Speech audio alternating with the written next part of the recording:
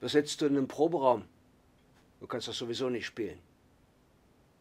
Na, manche Leute haben wenigstens Talent.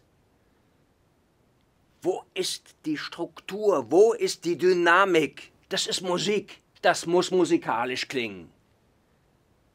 Ich will einen Unterschied hören zwischen Refrain und Chorus. Wozu hast du ein Ride, wenn du es nicht benutzt? So. Das Ganze jetzt nochmal von vorne, okay?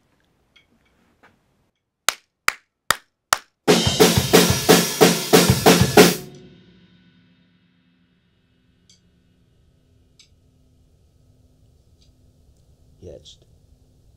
Die Noten raus. Wir machen das jetzt nach Noten. Wie wir das geprobt haben, drei Monate lang.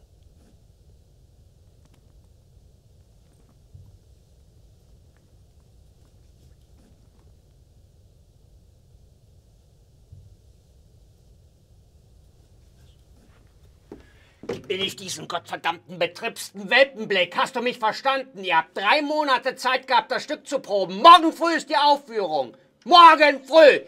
Bring mir die gottverdammten Noten. Jetzt!